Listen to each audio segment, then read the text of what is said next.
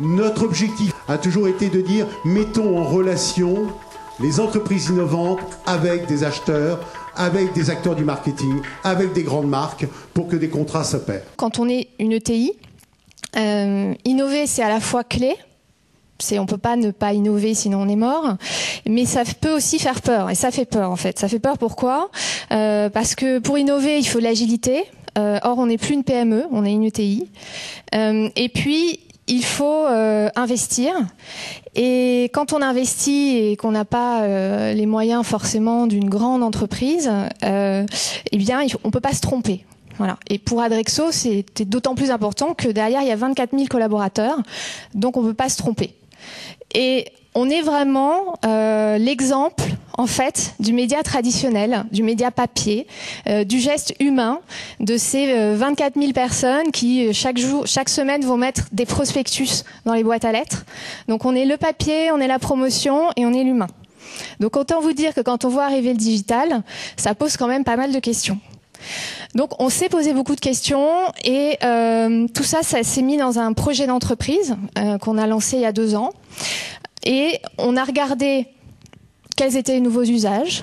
On a regardé euh, euh, ce que faisaient nos, lecteurs, donc les consommateurs, qu'est-ce qu'ils attendaient, où est-ce qu'ils allaient chercher l'information?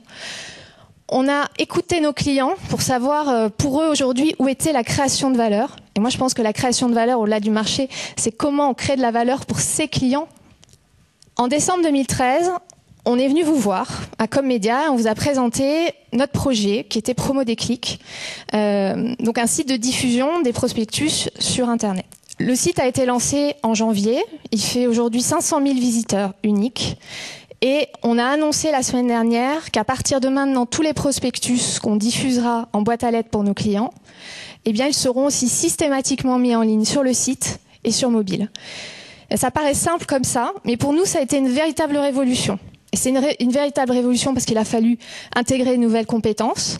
Il a fallu former nos équipes qui parlaient de papier euh, depuis des années, qui en parlaient bien. Il a fallu les former au digital, leur donner des outils digitaux, communiquer sur le digital, se mettre aux réseaux sociaux. Là, on est très actifs sur Twitter euh, en Commedia. Euh, et donc, c'est une véritable transformation. Et cette transformation, on peut la faire tout seul, mais on l'a fait surtout avec son écosystème et surtout grâce à toutes ces startups euh, qui réfléchissent directement à la suite. Ils voient les signaux faibles que nous on a du mal à voir parce que justement il y a tout le quotidien. Il faut que euh, il faut les mettre les prospectus dans les boîtes à lettres. Donc le temps qu'on va passer à, à, voir ce qui se passe dans le big data et euh, dans la réalité augmentée, etc. Bah, c'est du temps qu'on qu'on passe pas auprès de nos clients forcément.